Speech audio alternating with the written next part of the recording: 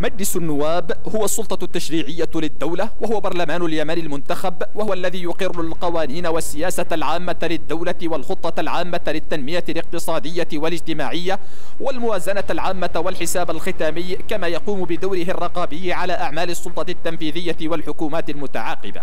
يتكون مجلس النواب من 301 نائبا ينتخبون من قبل الشعب لمدة ست سنوات ويمثلون 300 ودائرة انتخابية تشمل كافة مناطق ومحافظات البلاد. تمت آخر انتخابات نيابية في العام 2003 وانتهت فترة عمل البرلمان في العام 2009 لكنه تم التجديد لمدة سنتين باتفاق سياسي كما تم التمديد له ثانية لسنتين إضافيتين بموجب المبادرة الخليجية.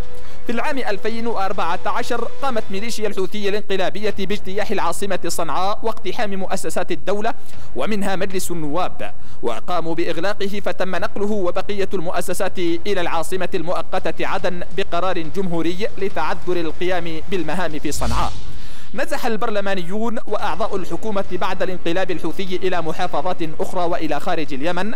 والتقوا في الرياض مؤخرا للتشاور وتجميع النصاب والترتيب لاستئناف عقد جلسات المجلس داخل الوطن. تفعيل دور مجلس النواب وإعادة التئامه مجددا واطلاعه بمهامه وواجباته ومسؤولياته سيعمل على تطبيع الحياة السياسية وإقرار ميزانية الحكومة والرقابة على أداء الحكومة والسلطة التنفيذية.